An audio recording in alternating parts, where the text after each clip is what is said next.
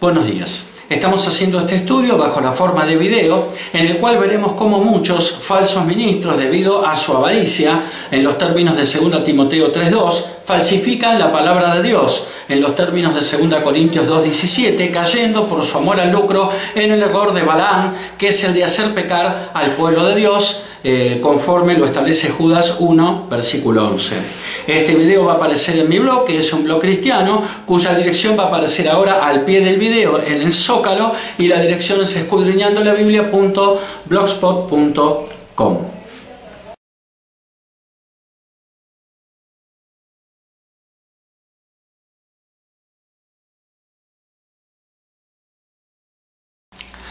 Desde hace algún tiempo vienen proliferando, sobre todo en, la internet, eh, algunos mensajes donde se sostiene que la obligación de diezmar ya no está vigente para la iglesia del Nuevo Testamento. Los diezmos están mencionados en el Nuevo Testamento, pero como citas directas del Antiguo Testamento, es decir, la institución del diezmo no tiene entidad propia en el Nuevo Testamento. Esto es cierto. La mayoría de los pasajes del Nuevo Testamento que mencionan los diezmos, acaso Lucas 18.2, Hebreos 7.2, Hebreos 7.4 al 6 este, y versículos 8 al 9, se refieren siempre a la ley de Moisés. Uno de los pasajes del Nuevo Testamento, por ejemplo, que habla de, de los diezmos es el pasaje de Hebreos 7.5, donde podemos leer, ciertamente los que de entre los hijos de Leví reciben el sacerdocio tienen mandamiento de tomar del pueblo los diezmos según la ley, es decir, de sus hermanos, aunque estos también hayan salido este, de los lomos de Abraham.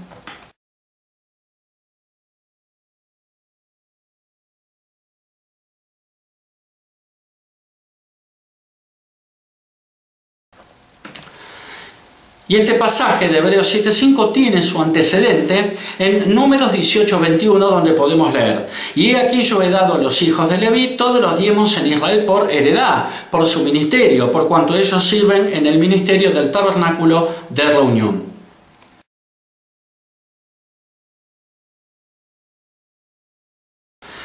En el Antiguo Testamento solo los descendientes de Leví podían ejercer el sacerdocio, esto es, los levitas. Y Hebreos 7.5 dice que ellos tienen obligación, es decir, el mandato de tomar del pueblo los diezmos.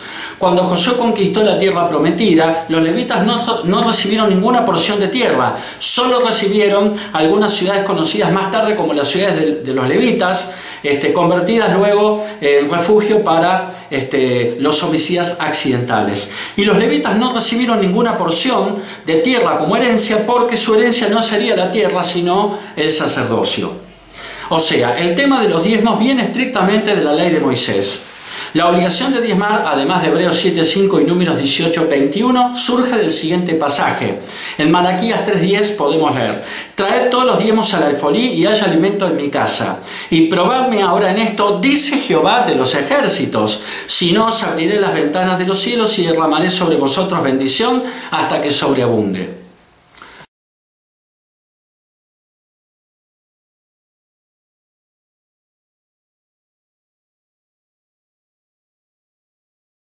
Antes de seguir, eh, debemos hacer las siguientes aclaraciones. El Pentateuco está compuesto por los primeros cinco libros de la Biblia, es decir, Génesis, Éxodo, Levítico, Números y Deuteronomio. Y la ley de Moisés fue dada a lo largo de los libros de Éxodo, eh, Levítico y Números y repasada en el libro de Deuteronomio. O sea, la ley de Moisés forma parte del Pentateuco y este a su vez forma parte del Antiguo Testamento, el cual termina en Malaquías. El Nuevo Testamento, por su parte, comienza eh, con el libro de Mateo y termina con el libro de Apocalipsis. Quienes sostienen que la obligación de diezmar ya no está vigente razonan del siguiente modo. ¿Cómo?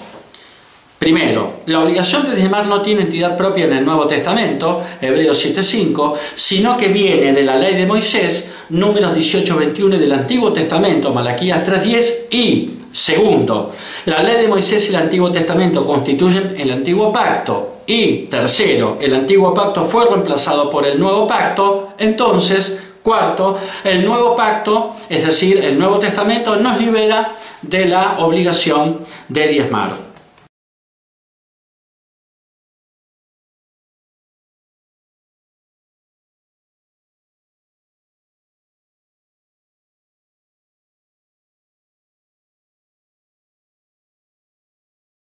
Mientras que las afirmaciones de los apartados 1 y 3 son verdaderas, la afirmación contenida en el apartado 2 es falsa, lo cual transforma también en falsa la conclusión eh, que leímos en, cuarto lugar, en el apartado 4. ¿Por qué es falsa la afirmación del apartado 2? Es decir, este, que la ley de Moisés y el Antiguo Testamento constituyen en su conjunto el Antiguo Pacto.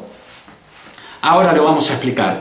La epístola a los hebreos que sería el, Nuevo, eh, sería el Nuevo Testamento o que forma parte del Nuevo Testamento, fue escrita para demostrar la obsolescencia del antiguo pacto, ahora reemplazado por el nuevo pacto, establecido a partir de la muerte expiatoria de Cristo en la cruz. ¿En qué consistía el antiguo pacto? El pecado siempre se levantó como una barrera o un muro entre Dios y los hombres. Como Dios no puede morar en presencia del pecado, siempre fue necesario expiar, es decir, quitar de en medio. Eso significa expiar. Siempre fue necesario expiar el pecado por medio de la sangre. A lo largo de toda la historia de la, redención, la sangre siempre fue necesaria para expiar, es decir, para quitar de en medio el pecado que, como hemos dicho, siempre se levantó como un muro entre Dios y los hombres. Eh, en Hebreos 9:22 podemos leer, y casi todo es purificado según la ley con sangre, y sin derramamiento de sangre no se hace revisión.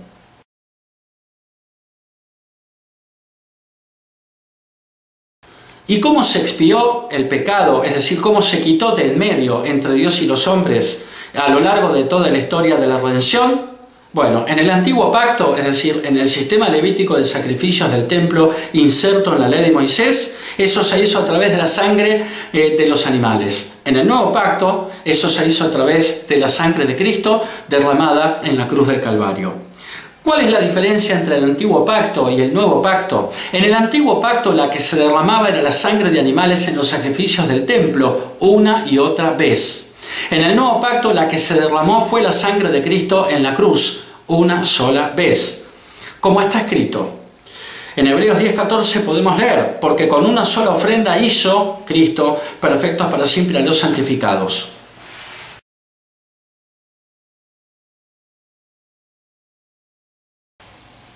Y en Hebreos 9, 24 al 26 podemos leer, porque no entró Cristo en el santuario hecho de mano, eh, figura del verdadero, este, sino en el cielo mismo para presentarse ahora por nosotros ante Dios y no para ofrecerse muchas veces como entra el sumo sacerdote en el lugar santísimo cada año con sangre ajena, es decir, de animales. De otra manera le hubiera sido necesario a, Cristo este, padecer muchas veces desde el principio del mundo, pero ahora, en la consumación de los siglos, se presentó una vez para siempre por el sacrificio de sí mismo para quitar de en medio el pecado.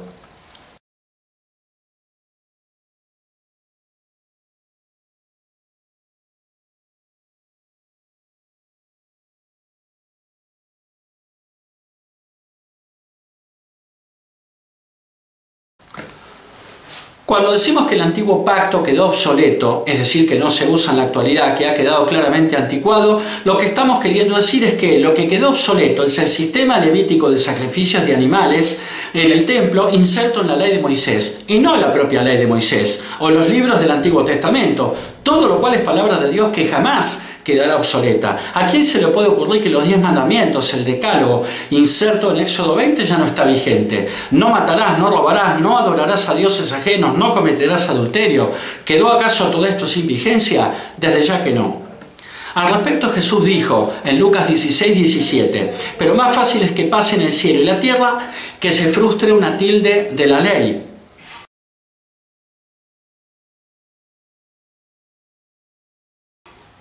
Y luego agregó en Mateo 5:18, porque de cierto os digo que hasta que pasen el cielo y la tierra, ni una jota, ni una tilde pasará de la ley, hasta que todo se haya cumplido.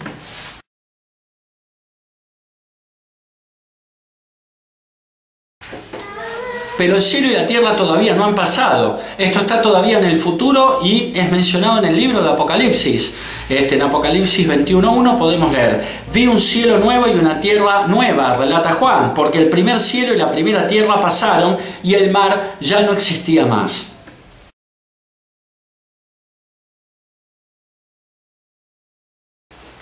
Y esto que ve Juan, un cielo nuevo y una tierra nueva, ocurre al finalizar el reinado milenial de mil años de Cristo, es decir, mil años después del retorno de Cristo a la tierra en su segunda venida. Fíjense ustedes cuánto tiempo todavía seguirá vigente la ley de Moisés. La diferencia entre el antiguo pacto y el nuevo pacto está perfectamente explicitada en los siguientes pasajes. En Hebreos 10.1 al 4 podemos leer, porque la ley teniendo la sombra de los bienes venideros, no la imagen misma de las cosas, nunca puede por los mismos sacrificios que se ofrecen continuamente cada año hacer perfectos a los que se acercan.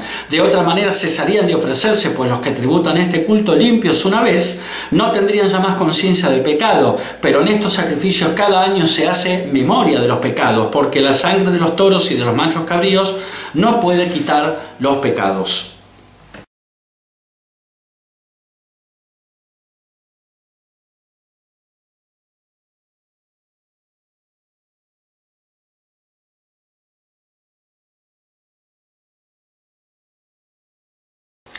Conclusión. El antiguo pacto no es el Antiguo Testamento, sino que consiste en el derramamiento de la sangre de animales una y otra vez en el sistema levítico de sacrificios del templo descrito e inserto en la ley de Moisés. El nuevo pacto no es el Nuevo Testamento, sino que consiste en el derramamiento de la sangre de Jesucristo en la cruz del Calvario una sola vez descrito en la epístola a los hebreos. Lo que fue derogado y reemplazado es el antiguo pacto por el nuevo pacto ya no es la sangre de los animales derramada una y otra vez en el templo, sino la sangre de nuestro Señor Jesucristo derramada una sola vez en la cruz del Calvario, la que expía, es decir, la que quita del medio el pecado.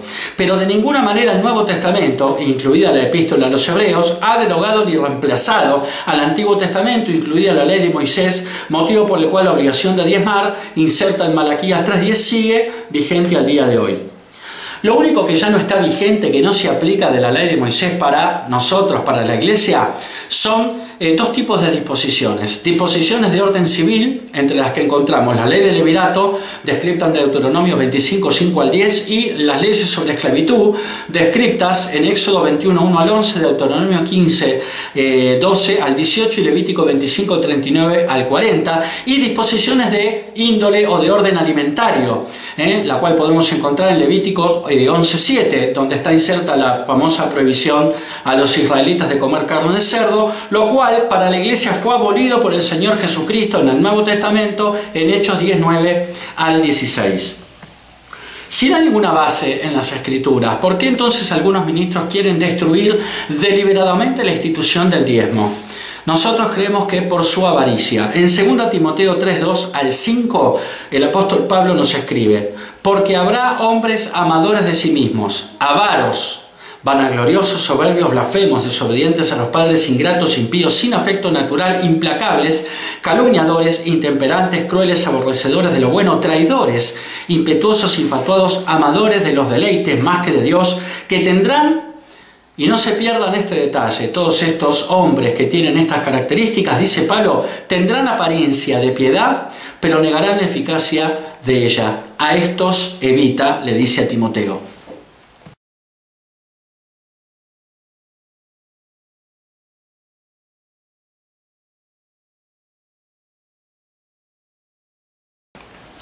¿Por qué entendemos que los avaros de los que habla Pablo en estos pasajes que acabamos de leer eh, son ministros de Dios? Porque Pablo concluye eh, los pasajes diciendo que son hombres que tendrán apariencia de piedad, pero negarán la eficacia de ella, es decir, no la ejercerán. ¿Y quiénes son los que siendo aparentemente piadosos no lo son? Desde ya te digo que no son los incrédulos. Ellos nunca aparentan ser lo que no son, sino que son los falsos ministros de Dios. Pablo se refiere a estos falsos ministros en otras cartas este, eh, como obreros fraudulentos. Eh, para estos hombres el diezmo ya no tiene ninguna relevancia financiera, por eso lo desechan. Ellos en cambio hablan en sus congregaciones de pactar con Dios y de sellar la palabra. Todo ello, claro, está a cambio de dinero. De esto se desprende que los que no tienen dinero, acaso los pobres, no pueden pactar con Dios ni arrebatar una palabra que haya sido soltada sobre sus vidas. Eh, todo esto es un delirio desde ya. ¿Se imaginan ustedes a Jesucristo luego de haber dado el sermón del monte este, que figura en Mateo 5, recaudando para sellar la palabra? De más está decir que en ningún lugar de las escrituras se hace referencia a pactar con Dios ni a sellar la palabra. Si bien es cierto que en el Antiguo Testamento Dios pactó con algunos hombres, acaso Noé, Abraham, Moisés y David, y que la riqueza material era un signo visible de contar con el favor de Dios, no es menos cierto que el que pactó fue Dios con ellos y no ellos con Dios, y que Jesucristo al introducir el nuevo pacto que reemplazó a todos estos anteriores dejó claro que las riquezas y Dios ya no estaban asociados. En Mateo 8:20 podemos leer, Jesús les dijo, las zorras tienen guaridas y las aves del cielo nidos, mas el Hijo del Hombre no tiene dónde recostar su cabeza.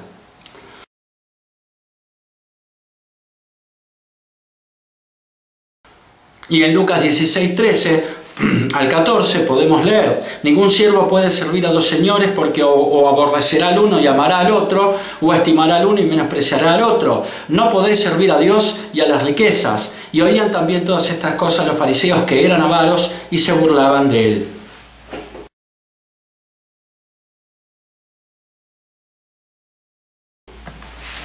Por estas cosas que decía Jesús, los fariseos se burlaban de él, como dice el pasaje, es decir, porque era pobre, no tenía posesiones y hablaba en contra de las riquezas.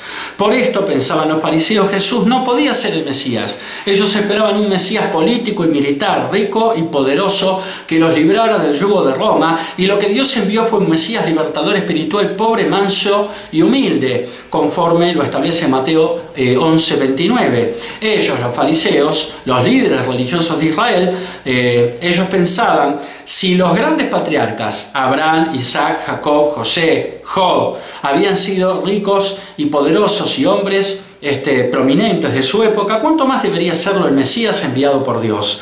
Fueron los fariseos los que sentaron las bases del tristemente conocido como Evangelio de la Prosperidad, que establece lo siguiente. Eh, si eres hijo de Dios, no puedes ser pobre. O dicho al revés, si eres pobre, entonces no puedes ser hijo de Dios. Por último, la palabra de Dios siempre se cumple, tengan o no dinero los hombres para sellarla. En Isaías 55:11 Dios dice, Así será mi palabra que sale de mi boca, no volverá a mí vacía, sino que hará, hará lo que yo quiero y será prosperada en aquello para, lo, para eh, que la envíe.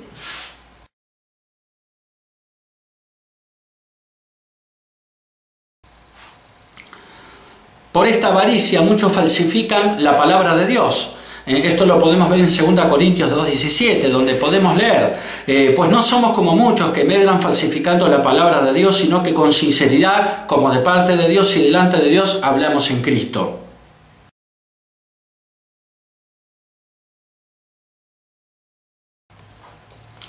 Como vimos, muchos sostienen hoy, hoy, en día que la obligación de diezmar ya no está vigente falsificando la palabra de Dios, confundiendo, engañando y trayendo males sobre el pueblo de Dios. Eh, y caen por esto en el pecado de Balaam. En Judas 1.11 podemos leer, hay de ellos, porque han seguido el camino de Caín y se lanzaron por lucro en el error de Balaam y perecieron en la contradicción de Coreb.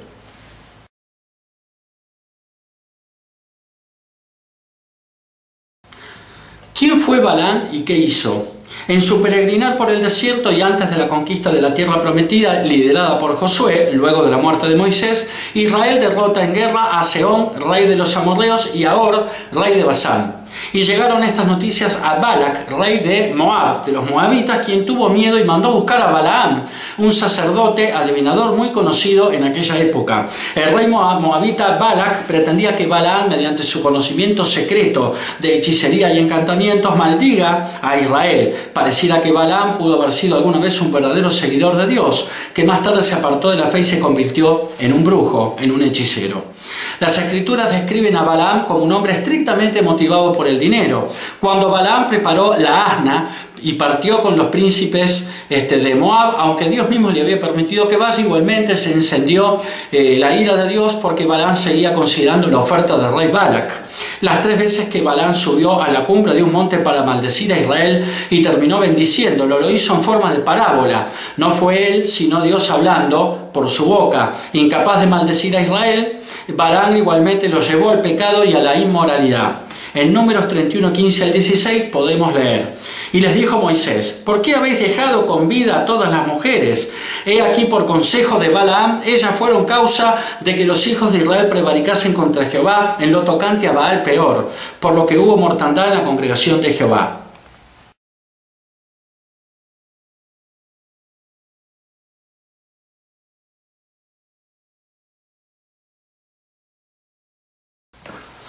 Después que Balán eh, había fracasado en su intento de separar a los israelitas del Señor, les aconsejó a los moabitas que trataran de separar a los israelitas de su Dios, atrayéndolos a la inmoralidad y a la adoración sensual de dioses falsos, lo cual trajo mortandad en Israel. En números 25, este, 1 al 4 podemos leer. Eh, moraba Israel en Sittim, este, y el pueblo empezó a fornicar con las hijas de Moab, las cuales invitaban al pueblo los sacrificios de sus dioses, y el cual comió y se inclinó a sus dioses. Así acudió el pueblo a Baal Peror, y el furor de Jehová se encendió contra Israel, y Jehová dijo a Moisés, Toma todos los príncipes del pueblo y ahórcalos ante Jehová delante del sol, y el ardor de la ira de Jehová se apartará de Israel.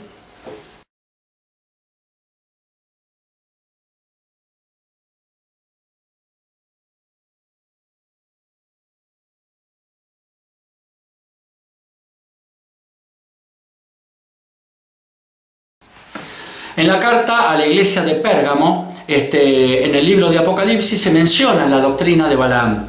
En Apocalipsis 2.14 podemos leer, pero tengo unas pocas cosas contra ti, habla Jesucristo aquí, que tienes ahí a los que retienen la doctrina de Balaam, que enseñaba a Balak a poner tropiezo ante los hijos de Israel, a comer las cosas sacrificadas a los ídolos y a cometer fornicación.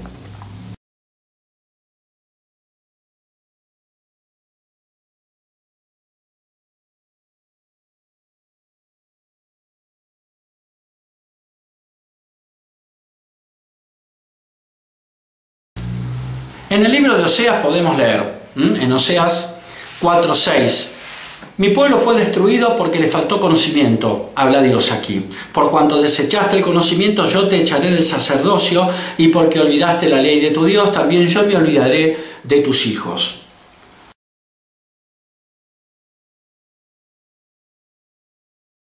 En la escritura original dice, mi pueblo feneció por falta de conocimiento. La palabra fenecer significa pudrirse o descomponerse lentamente. El pueblo que no conoce la ley de Dios literalmente se pudre lenta y gradualmente.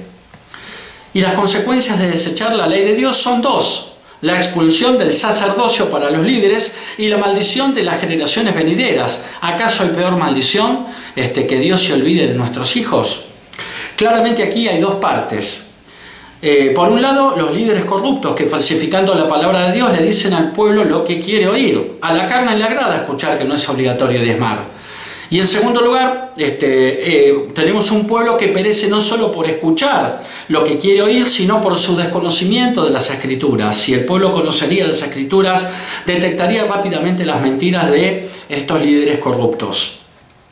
Continúa diciendo Oseas, en Oseas 4, 8 al 9, del pecado de mi pueblo comen y en su maldad levantan su alma. Y será el pueblo como el sacerdote, le castigaré por su conducta y le pagaré conforme a sus obras.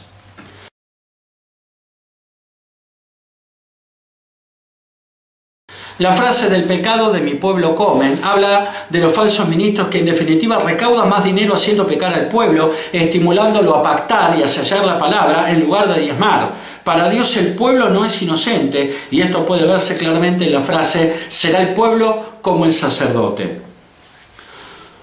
No diezmar implica robar a Dios. Esto está claro y lo podemos ver en Malaquías 3.8. ¿Robará el hombre a Dios? Habla Dios aquí, ¿eh? Pues vosotros me habéis robado y dijisteis, ¿en qué te hemos robado? En vuestros diezmos y ofrendas.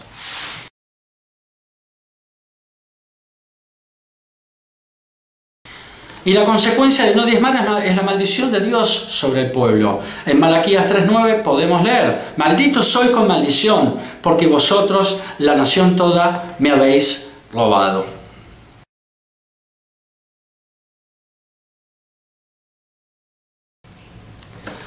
Y los líderes que provocan esto son responsables ante Dios, van a tener que dar cuenta, eh, conforme lo establece Ezequiel 3:17 al 19, donde podemos leer, Hijo de hombre, le habla Dios a Ezequiel, yo te he puesto por atalaya a la casa de Israel.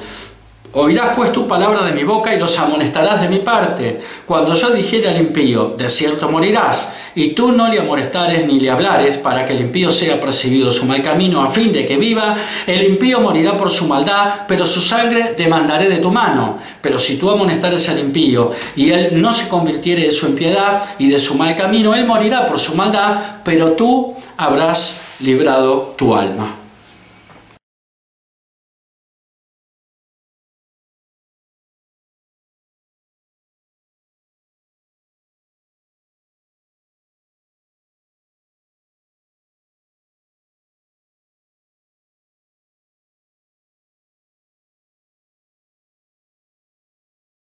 Bueno, llegamos al final de este estudio bajo la forma de video, espero que les haya gustado eh, y que termine siendo de bendición para todos aquellos que terminan viendo este video. Este, me despido, hasta el próximo estudio, seguramente también bajo la forma de video. Que Dios los bendiga. Amén.